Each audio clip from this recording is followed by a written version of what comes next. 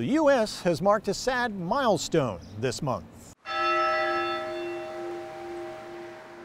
National health experts say the official U.S. death toll from the COVID 19 pandemic hit 100,000 right around the beginning of the month.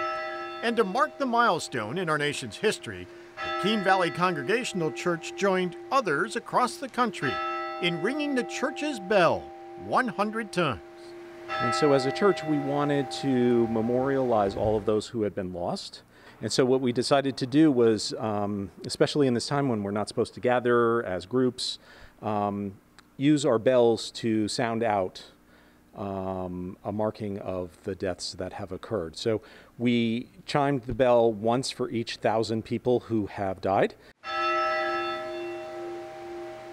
If you think about our history, right? Um, acknowledging or announcing the Revolutionary War, um, announcing the end of um, the Second World War, all of these really important moments in our national history. The church and other civic institutions have been right there using their bells to announce, bring people together, um, mark a special moment. So the tolling of the bell today is in that long um, tradition.